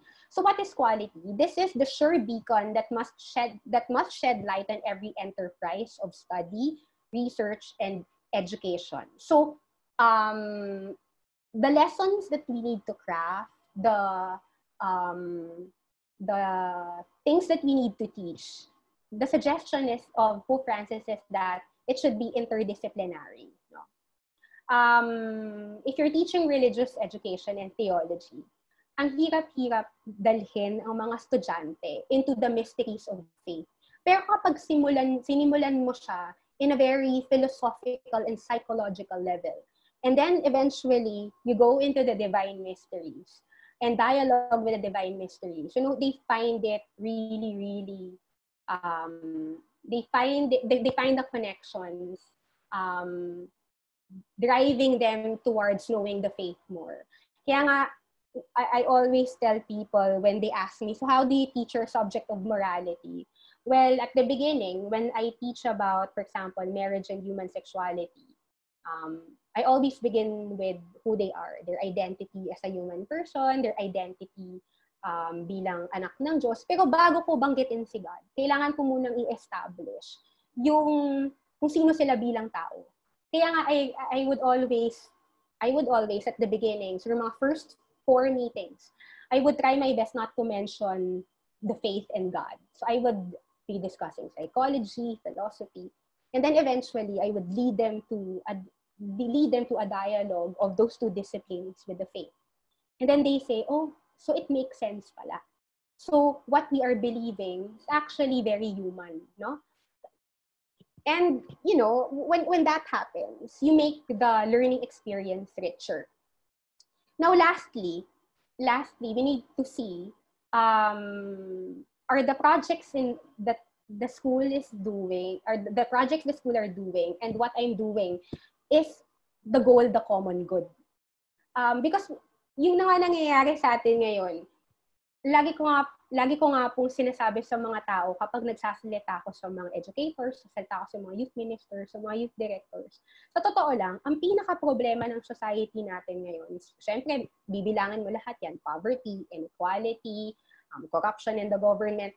Alam nyo, lahat po yan nagsisimula na tamang-tama ang compendium of the social doctrine of the church in it, its introduction in paragraph 16. Ang sabi doon, ang pinaka-problema natin ngayon ay nakakalimutan na ng tao kung sino siya bilang tao. Kaya kapag nakalimutan ng tao kung sino siya bilang tao, ang hirap-hirap magpakatao. Kasi hindi niya nakikita na ang kapwa niya ay tao din. Kaya ang hirap mag-work for the common good. What is common also, because I, I need to understand that me as a human person, I share a common humanity with my neighbor. And if I lose a sense of who I am and my the dignity that I carry as a person and the dignity that my neighbor is carrying, we won't arrive at the common good. And so maybe, you know, even if our subject is not religious education, maybe we need to also look at that. Am I bringing my students towards an understanding that we all need to work for the common good? Because in the Vatican document for religious education, the goal of education is that we all build the kingdom of God. No? Ikaw bilang tao, your goal is to also build the kingdom of God. Education now, religious education is a way to be able to bring people into the reality that they need to build the kingdom of God on earth. And in building the kingdom of God on earth, that would happen if we have this idea of the common good, that we all belong to one family. If we all think of it that way, edi walang poverty, no? Walang human trafficking. Walang um, hashtag iha ako or the rape culture, um, rape culture, what do you call this, um, scenario that is happening in social media na naglalabasan na yung mga stories of students that they were molested by their teachers or they were they were raped by their friends, etc. Now, with, with, with all these, this is something that I'd like to propose. Um, I gave a talk on this already in a webinar months ago, but I'd like to um, also share it with you. What I'd like to propose is that as we teach our students, maybe we don't only need, we, we don't only go into to um, knowledge, skills, and attitudes, you know? Pero putting them together, knowledge, skills, and attitudes, or the learning competencies that I um, I have in mind when I craft my lessons, when I want to teach my students, maybe all in all, I need to maybe we need to see that if there's an imperative now to form students of virtue or form people of virtue. Okay? Now, Pope Francis says that becoming a saint is that we become fully ourselves, becoming what the Lord wished to dream for us, what his, that we follow His will, follow God's will, and to carve our own path because we are not photocopies of other people. So, ano po ba ang goal ng Christian life? Ano ba ang goal mo bilang Kristiyano? The goal is, at the end of the day, that we all become saints. No? I remember um, when I was in LaSalle, one of the favorite quotations, um, although not verbatim, quotations that I ha- that I know of um, John Baptist de La Salle is that you need to always think that as an educator, you need to lead your students to heaven. So that's one of your goals, no? Because if you want them to live a committed Christian life, that would now be equal to your student be informed in the way of holiness towards sainthood. And so what I'd like to propose is that, you know, we teach them to be people of virtue. Now, what is virtue? Virtue is a good habit. It's something that a person possesses na hindi lang hindi lang one time big time thing that for example if I if I want to be patient I will only be patient one time. But it's something that has to be practiced. It's something has to it's, it's something that has to grow in you until patience becomes you. Until people see you as a walking um, as a walking embodiment of patience. And so how can we obtain virtues, no? So we can obtain virtues or good habits can be obtained through repeated actions. And so, if we want to form our students, no, we should also um, be able to lead them in or na kapag kapag kunyari gusto mong maging mabuting tao, hindi ka lang magiging mabuting tao sa iisang desisyon.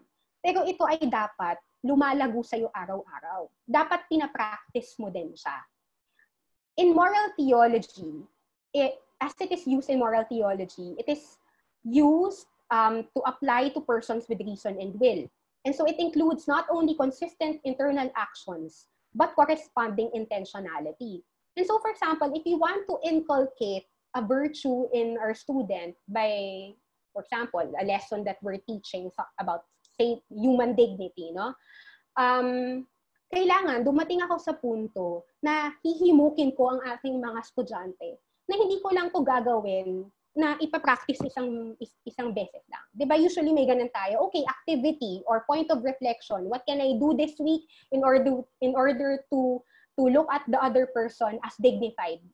Baka dapat hindi lang ganun. Baka dapat it should be um it should be that we teach our students that it's not only a one time big time thing that this week that we need to do. It's something that you need to do day after day until you know it becomes part of who you are already. Now, a habit is in Latin, its meaning is captured into two terms, disposition and inclination. So if we want to, to form virtuous students, whenever we think of what application, no, yung pwede nating ibigay sa kanila sa mga lessons natin, baka dapat higher level na yung, parang we, we, we look at it not on a higher parang a higher we we put a higher level goal in the lessons that we do no um Why? Because when you want to form a virtue in an individual, it has to even dig deeper. Dapat maging disposition siya ng tao. Habits are the more enduring qualities that make you a certain sort of person. Example, being patient, be- becoming prudent, becoming obedient, no? Now, I'll give you an example, okay?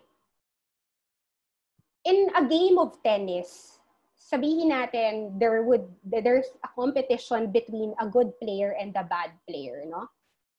Now, what would the bad player of tennis um, what what what what will you what ano yung pwedeng maisip nyo na gagawin ng bad player of tennis? So, syempre, matatalo siya dahil magkakaroon siya ng constant misses as he hits the ball. But the good player, you know that the good player will win the game because the good player will reliably make good shots even when there are misses. Because the good player was trained in the game. Meron siyang training in the game. At hindi lang yun. In a way, na-acquire na niya yung knowledge, skills, and attitude of playing the game. Kaya kahit na, you know, may isang mintis, baka mamaya isa lang yan or dalawa. But the rest of the game, ipapanalo niya. And so why is being a good player in life more important than just simply doing good things? Now, we need to teach our students the value of reliability. Now, if we want to form students of virtue, people of virtue, citizens of virtue, um, people of virtue, Christians um, who are virtuous, then they should do good things frequently and consistently. Okay?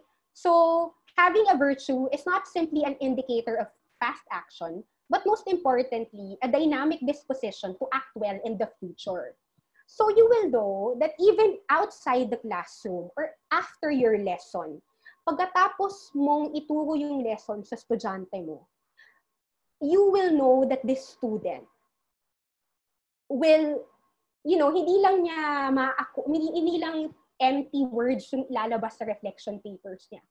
Pero you would be assured as a teacher na this student, even outside the classroom and beyond the classroom, and even pag graduate na sila sa school, would be a good person, a virtuous person.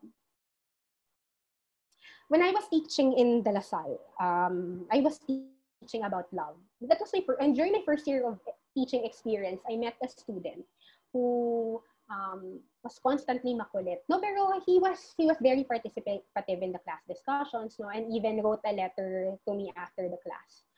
Um, I remember, ang goal ko lang naman noon, because I was not really trained in education as most of you are, ang ang tanging dala ko lang ang puso.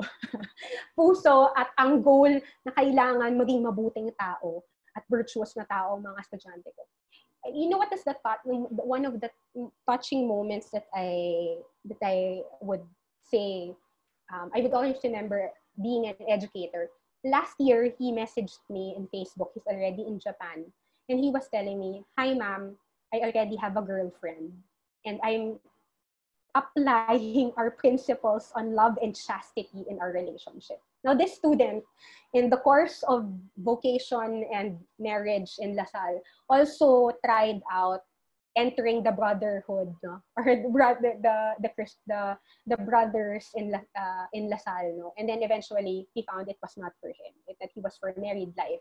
And so, nung ko naisip na, o nga no, kapag ang goal mo ay higher, that you want your student to be holy, at you want to lead your students to heaven, then the effect of your lessons will be lasting.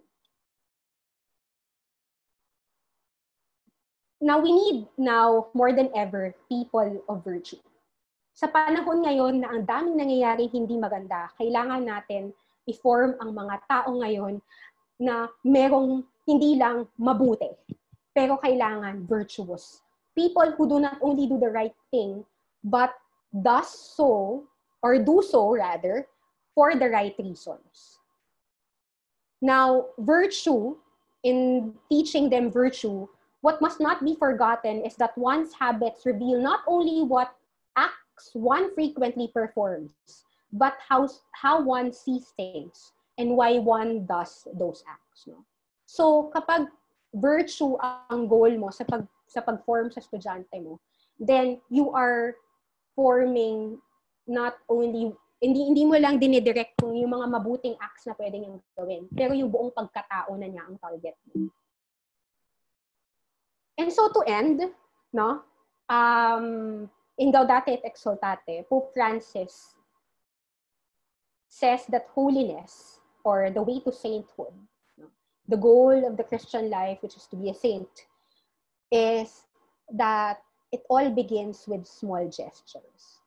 It begins with um, kahit na hirap na hirap na hirap na akong mahalin yung nanay ko, tatay ko, kapwa ko, ay patuloy kong susubukan na mahalin itong taong to. Kahit na paulit-ulit niya akong ginagawa ng masama, paulit-ulit din akong magpapatawad. Dahil dadating pala ang punto na kapag paulit-ulit ko siyang ginawa, hindi na ganun kahirap dahil naging isang tao na akong mapagpatawad. No? Naging isang tao na ako na mahabagin. Whenever I recall this line in Gaudate et Exultate in my prayer time or whenever it comes to mind, uh, the quote of Mother Teresa about love also um, comes to mind. Love until it hurts, until it hurts, until it hurts no more. Noong una naisip ko, ay, mawawala na lang yung hurt kapag nagmahal ka. Eh, di ba, pag nagmamahal ka, constantly masakit? Pero hindi eh. As you constantly love and give love to someone, even if it's hard, it comes to a point wherein kahit nahirap na hirap ka, kahit na masakit na, at kahit na gusto mo nang isuka yung taong yun, at isumpa yung taong yun, dadating ka sa punto na, hindi eh, wala na akong magawa dahil alam ko ang nararapat, dahil alam kong nagpapabuti at nagbibigay sa akin ng tunay na ligaya, kayang magmahal. Kaya wala akong ibang gagawin. Hindi magmamahal lang ako. No? Kaya nga, um, naalala ko may may nagsabi sa akin na tao na, bakit mo ba kailangang ihatid yung kapatid mo? So aside from being an educator, konting sharing, um, I all, like you, I also have responsibilities in the home. And a while ago, I was very, very, very tired because I I bring my brother back and forth sa office na in Makati because he's a frontliner. He's a medtech. And his shifts are very different. So I also had to wrap around my wrap around um, in my head na yung schedule ng kapatid ko ay dapat i-consider ko sa schedule ko. And someone told me na ang hirap naman magmahal. Sabi ko, oo, mahirap. Nakakapagod. Pero sa totoo lang, parang naging parte na siya ng everyday routine eh. Kasi ganun pala ang pagmamahal. Ganun pala ang virtue. If, if if you have that virtue already, not saying I'm not saying that I've acquired charity, no, or or love as a virtue. Just sharing an example. Kapag ganun pala, no, hindi mo na iniinde, hindi mo na iniisip. Pagod ka physically. At the end of the day, hindi siya punto ng reklamo. Hindi siya iniisip na inconvenience. Pero ginagawa mo siya dahil alam mo, minahal kang una. And so maybe my last point for educators is this you cannot form students in virtue if you're not also formed in virtue. You cannot lead students to an understanding of God if you yourself you don't have a relationship with God. You cannot lead your students to be good and upright citizens if you yourself you are not constantly striving to be good and upright citizens no so um, I think the Clarion Call, in order to build a world that is inclusive, a world that is imbued with shalom, a world that that is um, looking into the common good as a goal. If we want to have a better world, and we want to have a better life, and we want to have fullness of life, then we need to teach ourselves to have a disposition of virtue and to also similarly live virtuous lives. So um, I pray that in the new normal, even if it's hard, um, we would lead our students to a committed life of faith by firstly, you know, looking at ourselves as educators and looking at who we are, looking at our vocation in a new light that we need to lead our students to sainthood and that we need to change the world. And it rests in our hands at the moment.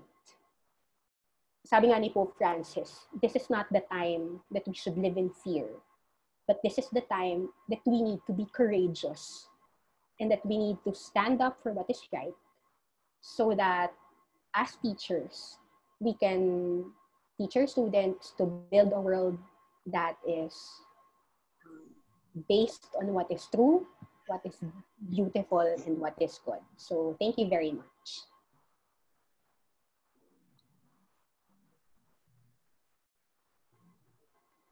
Okay, thank you very much.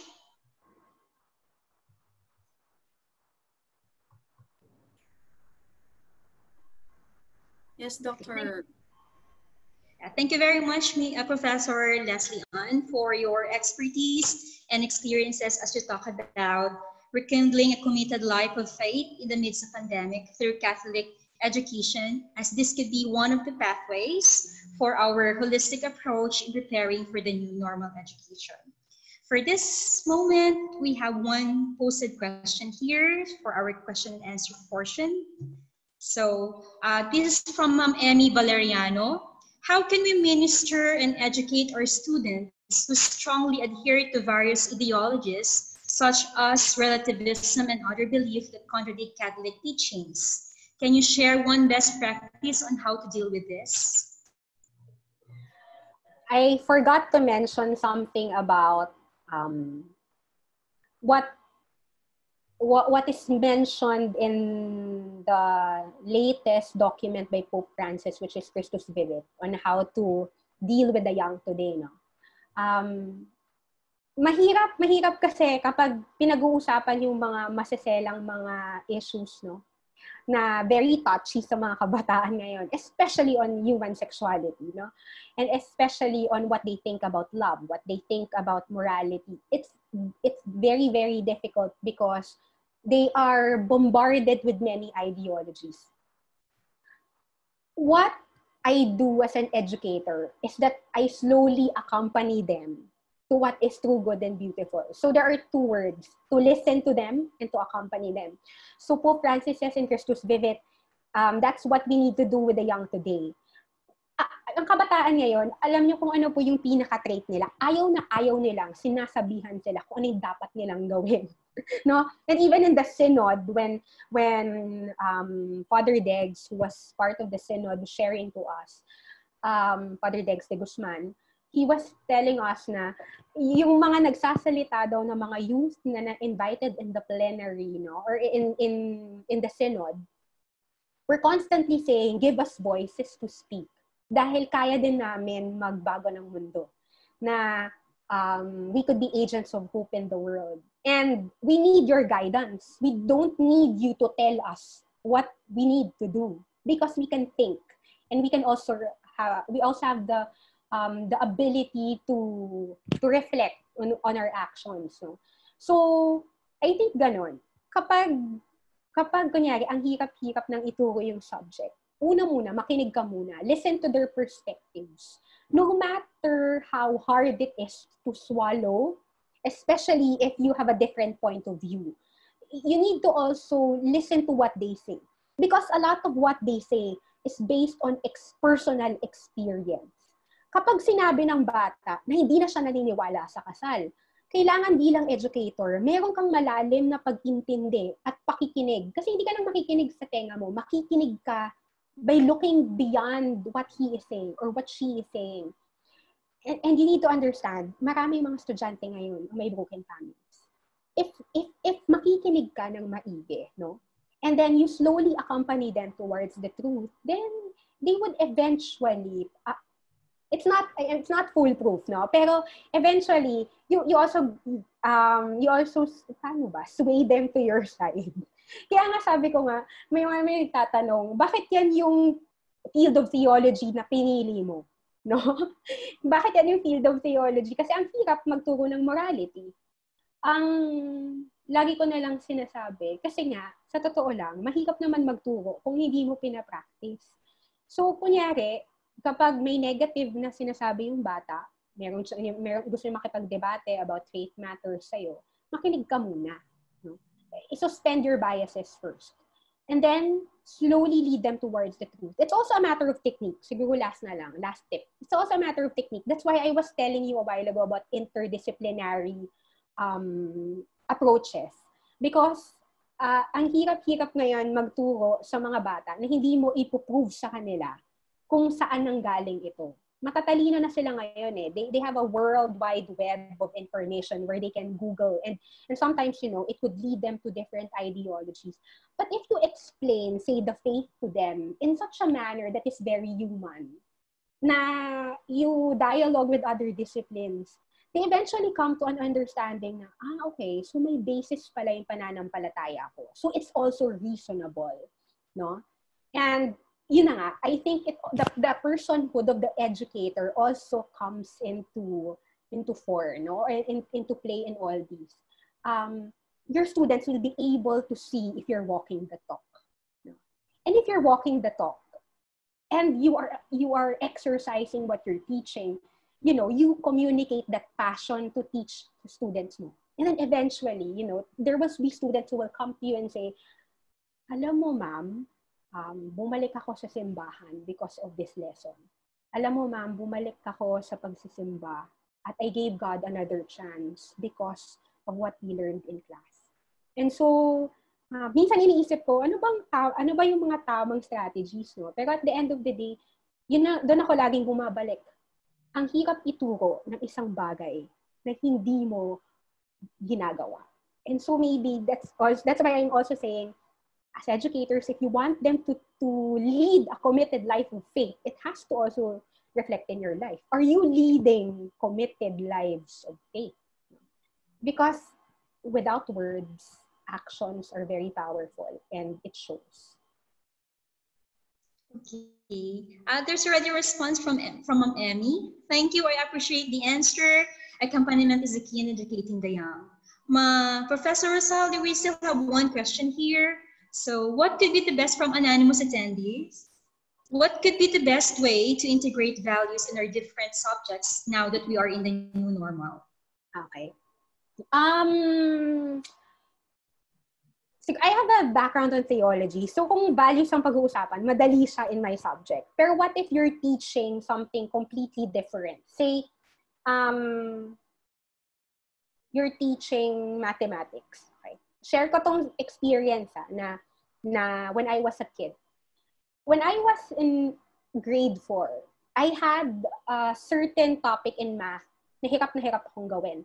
But my math teacher was very memorable because my math teacher did not only teach me the techniques, she was also telling me, Lian, you have to practice in math because if you persevere, then you will get the right answer. So, ako naman, oh sige, so what do I do? Um, she said, you can go to the library, I can give you worksheets, you can practice this at home. So, I was practicing that. It came to a point na I realized the value of perseverance. Kasi, naging madali na sa akin yung lessons after that. Because, sabi ko, it, it, it requires practice pala. And personally, it's something that I never forgot. Because even up to now, na-realize ko na kapag may gusto kang gawin, kapag nag-persevere ka, at naaayon siya sa, grass, na, sa, sa will ni God, magagawa mo siya eh, no? So, in a way, that math teacher did not only teach me how to solve the equations, that math teacher taught me perseverance. So, maybe when we plan our subjects here in the new normal, um, maybe when we think about our learning outcomes, we only don't look at what knowledge, skills, and attitudes I need to identify so that so that and so that as I identify that, yun yung gagawin kong lesson, di ba? And yun yung gagawin kong assessment. Pero baka dapat, um, and I got this from our training in Ateneo, maybe we need to look at it in a matter of competence, no? And a competence is knowledge, skills, and attitude combined.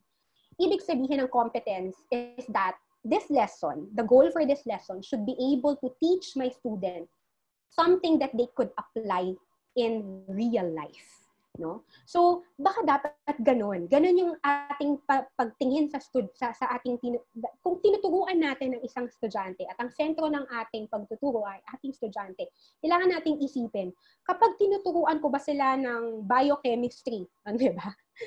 Naalala ko biochemistry nung nursing ako, sabi ko, bang magagawa nito sa buhay ko?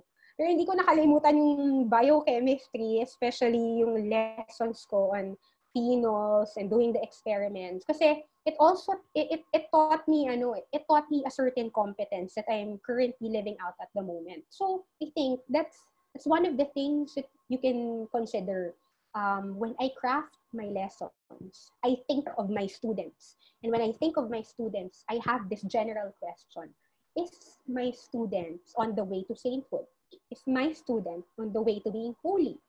Is my student on the way to becoming a person who understands oneself, on, who is in communion with God and also in communion with others. So if you think of it that way, creative and innovative ways in teaching will, will, will suddenly follow you now. And suddenly you're thinking out of the box kasi you're not only looking at hitting KSA, but you're also hitting something that is lasting. No? A case in point in this lesson, ay, in this lesson, di ba? Sorry, ah. Um, in this webinar, um, a life of virtue or forming virtuous individuals.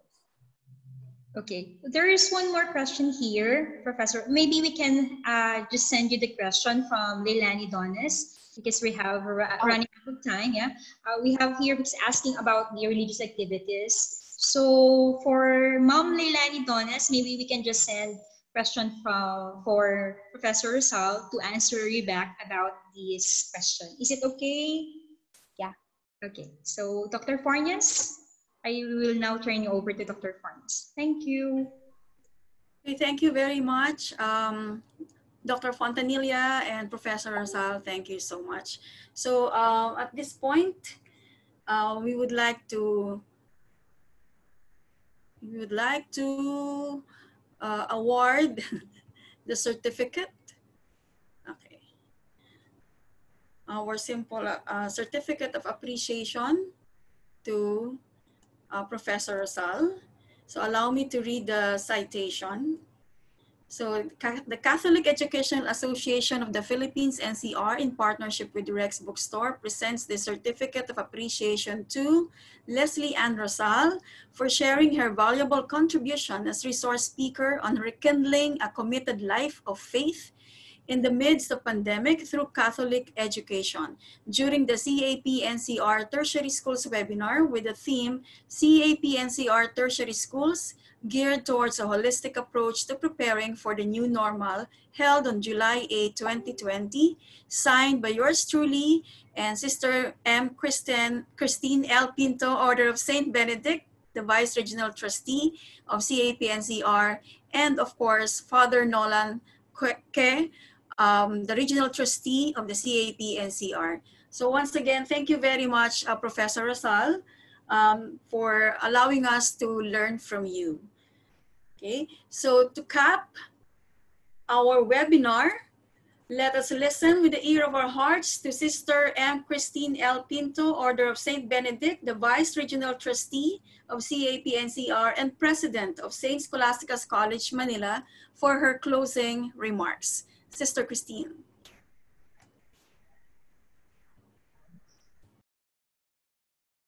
It's almost noon, so I would like to uh, greet you already a good noon. This is once again um, a very beautiful way to cap our two-day seminar, two-day webinar, um, wherein I suddenly realized really the the mission of, of Catholic education. Um, what makes us distinct, you know, uh, the kind of education that we give is distinct compared to other maybe other um, universities and colleges is that it is not just a matter of um, imparting content, uh, which has been very much emphasized yesterday, that now it's not just a matter of content, but really it is how we are preparing our learners, our students, actually ourselves, all of us, the entire um, community, uh, the entire educational community, our staff, our, our faculty, our administrators, into discovering who we are really meant to be. You know? the, the mission that the Lord has for us, or the vocation that, that we that we have that has been um, chosen for us for the future.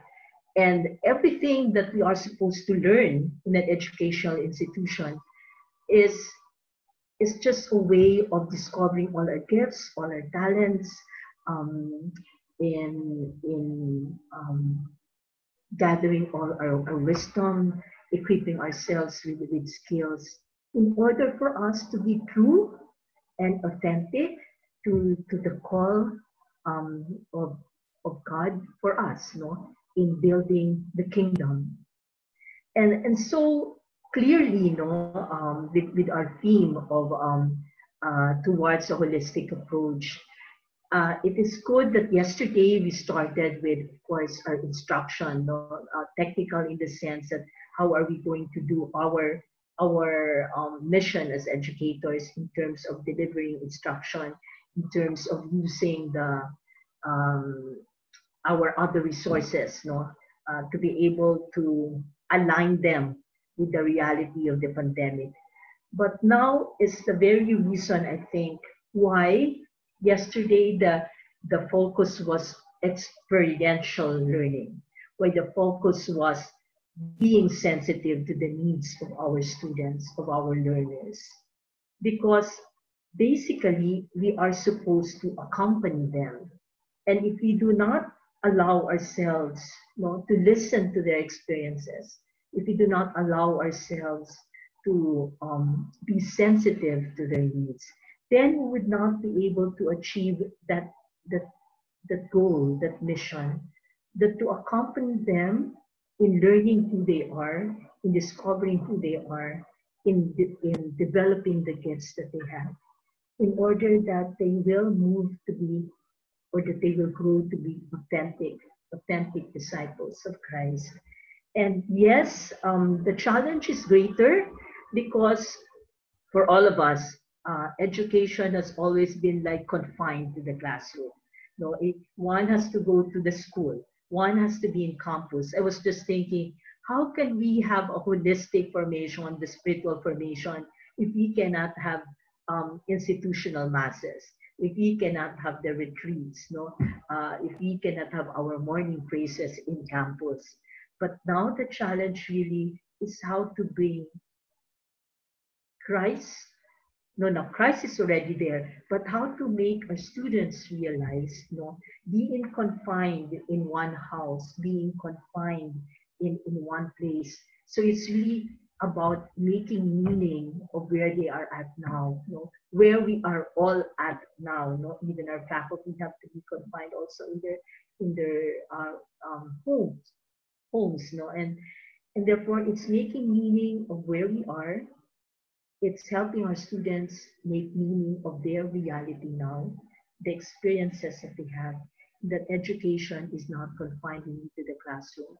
And learning more about oneself and learning more about Christ, who we are supposed to be following, can actually be, um, can actually happen, you know, in the encounters, the personal encounters that happens to all of us wherever we may be. So I thank no um, I thank our uh, resource speakers. No, um, Dr. Trinidad, of course, was also uh, speaking about the importance of accompaniment, actually, no, of, of counseling, because they are now in a situation that there are more questions. Um, the realities of our government, the realities of our life is magnified because of social media. It's more magnified because they're confined to one place, and therefore, uh, the accompaniment is very crucial. You know?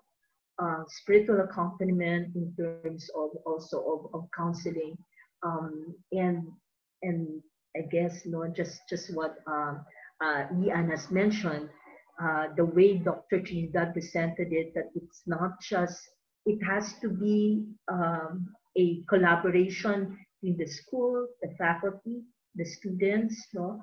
Um,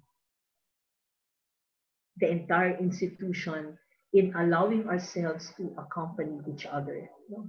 And therefore, thank you. I would like to thank, of course, Diane uh, and, and Dr. Dr. Trinidad for our, our resource speakers today. And I would like to reiterate to one of our speakers yesterday, um, Dr. Fermin and Mr. Tansiongco. Um, in behalf uh, of the CEAP NCR Tertiary Committee, no, um, I would like to thank uh, Rex Group of Companies, Attorney Buhayin, thank you very much. Um, Joey Pineda, who has um, constantly been working with the committee to make this two-day webinar possible. And of course, the, the support of um, the officers and board of trustees of um, NCR, headed by uh, Father Nolan. Um, thank you very much for giving us an opportunity to be able to deliver this you know, um, to our educators, uh, to our member schools, not just to the HEIs, but also to our um, basic education institutions.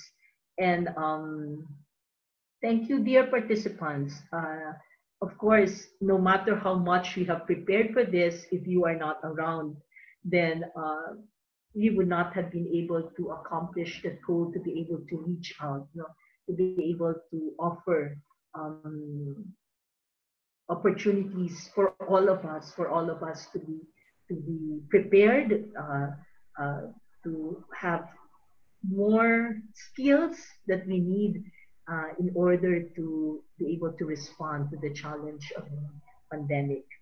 Uh, so with that, um, I would like to congratulate everyone. Uh, of course, not to forget, I would like also to give thanks, to give our gratitude to our CEAP NCR um, staff, uh, Chris, know, Marty, uh, Kat, know, uh, thank you very much for all the assistance and again, of course, for Rex because they provided the platform for us for this webinar to be able to um, to be held. And so I, I wish you once again a, a good day and um, blessings to all of us as we really prepare for um, our new school year and that it gives me much hope. It gives me much hope that um, we know as, as educators are once again, I would like to believe, refreshed. We are reminded, it's really the work of the, the Holy Spirit, you are reminded of what our Catholic education is really all about. And, and since yesterday, this has been um, shared already by our, um, our resource persons.